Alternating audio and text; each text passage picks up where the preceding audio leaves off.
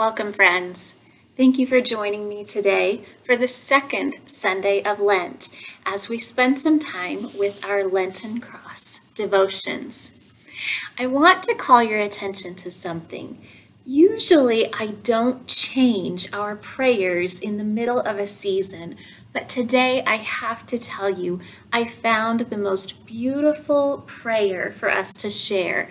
It's short but it's what we call a body prayer, and I just couldn't wait to use it. So, last week's sheet will look a little bit different. There is one new prayer at the end of this week's sheet. If you'd like to print it off, you can, or you can just follow me. Let's begin. The Lord be with you, and also with you. Lord, let the words of our mouths and the prayers of our hearts be pleasing to you, our rock and our redeemer. Amen. And now we have our song. Lord, we call to you right now. Hear us as we pray. Folded hands and quiet hearts Hear us as we pray. Give us thankful hearts. Reveal your truth each day. Give us courage in our faith. Hear us as we pray.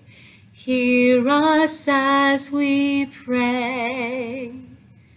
Glory to the Father and to the Son, and to the Holy Spirit, as it was in the beginning, is now, and will be forever. Amen. And now we are going to work with our Lenten cross for the second Sunday of the season of Lent. We're going to do things a little bit out of order because if you remember last week, we added a rock to remind us of Jesus' time in the desert.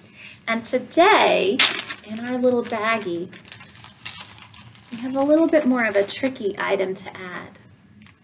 We're going to add this red string. And I'll show you what we do. We have two holes at the bottom.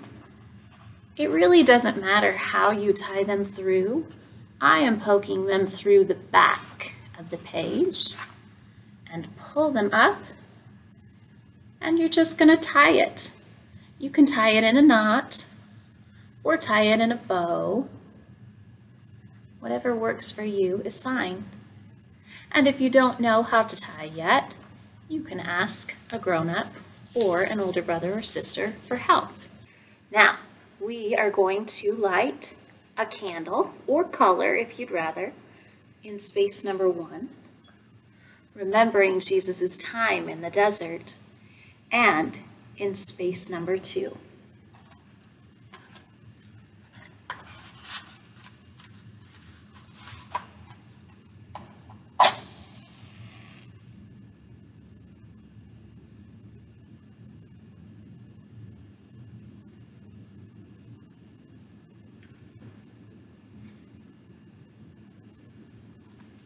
Let's enjoy this light.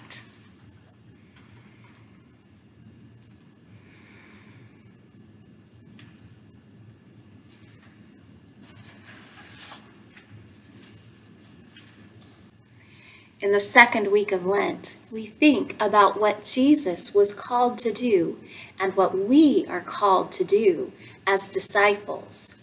It's not always easy.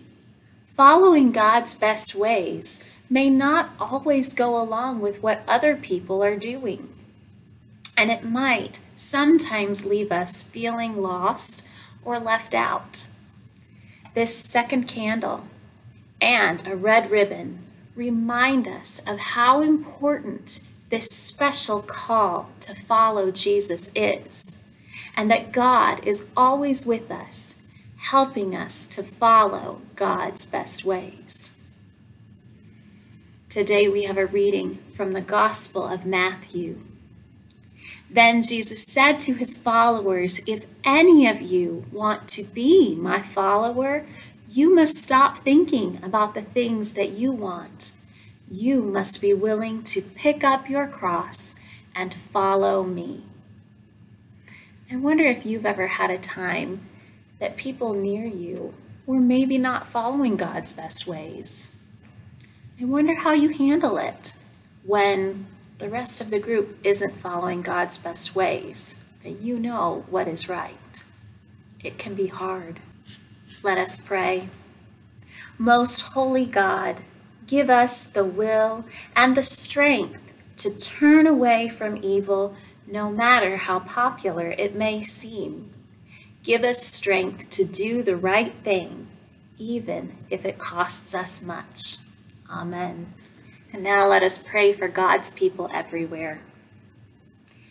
Jesus, hear these prayers we send.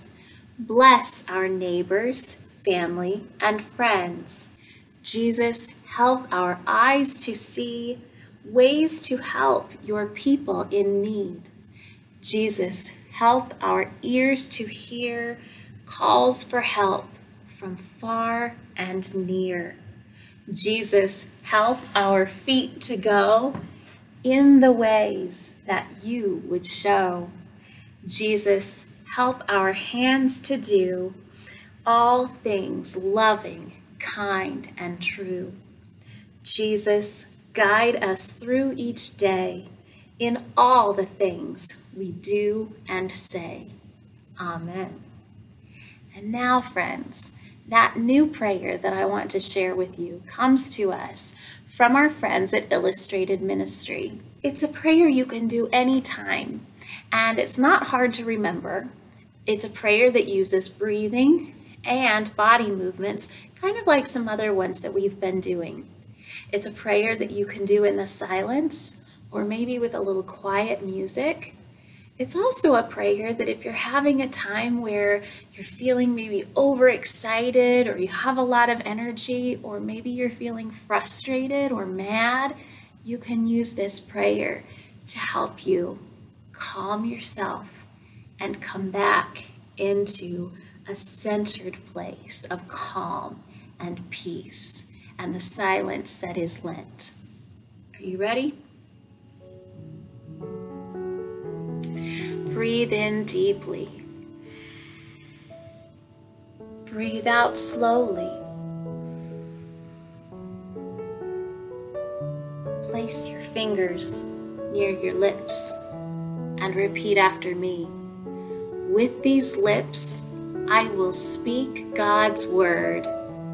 With these lips, I will speak God's word. Breathe in deeply. Breathe out slowly. Hold your hands together in front of you and repeat after me. With these hands, I will serve God's world. With these hands, I will serve God's world. Breathe in deeply. Breathe out slowly. Place your hands on your heart and repeat after me. With all that I am, I will share God's love.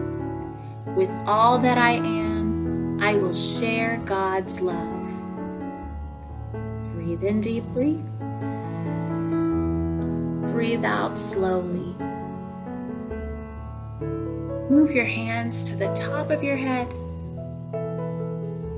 and repeat after me. I will remember that I am God's own. I will remember that I am God's own. And with another deep breath and breathing out, we say, Amen.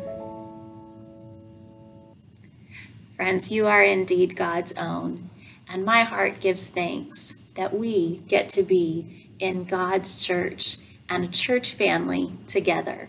I'm thankful for each of you, and I look forward to seeing you next week. Bye bye.